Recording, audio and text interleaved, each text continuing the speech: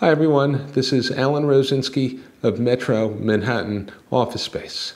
So everybody's wondering how the struggling commercial real estate market and the retail sector is going to adapt in New York City and other major American cities.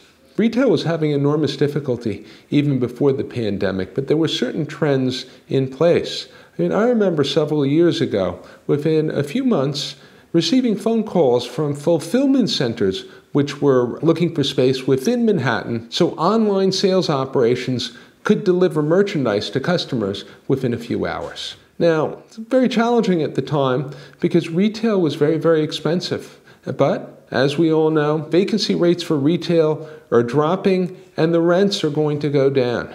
And what I see happening in the future is that many of these vacant retail spaces are going to be leased by fulfillment centers, some micro fulfillment centers, highly automated facilities that expedite last mile shipping of merchandise for online retailers. It's a dream for any online business to be able to provide their customers with instant gratification, to be able to deliver their merchandise to their customers within a couple of hours. And in order to do this, it's very helpful that the fulfillment facility is not in Newark, New Jersey, but it's located actually in Manhattan. Once the rents really start dropping, this is going to become economically feasible. There's already certain neighborhoods, like the Garment District, which offered very affordable retail rents, and with what's going on, those rents will be even lower. So, what I foresee is many of the uh, vacancies are going to be leased by these fulfillment centers, and when you order online, they'll be delivered from maybe an area in the Garment District or some side street in uh, Manhattan with a drop of uh, retail rents in New York City, you may have certain brands just bypassing stores altogether, just setting up the fulfillment facilities in inexpensive areas of Manhattan and um, focusing on online commerce and delivering directly to their customers.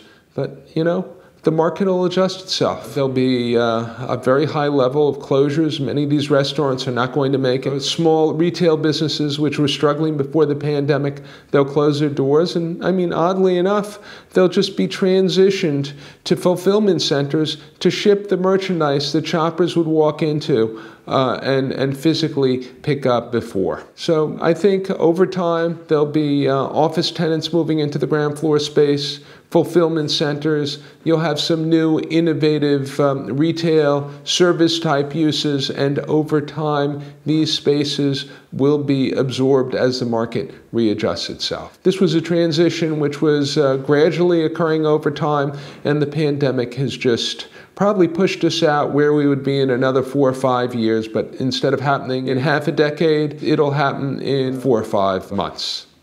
In uh, any event, hope you find this content of interest. If you have any questions, please uh, tweet them to me. My Twitter handle is at Metro Manhattan. And as always, thanks for watching the video and feel free to subscribe to my YouTube uh, channel.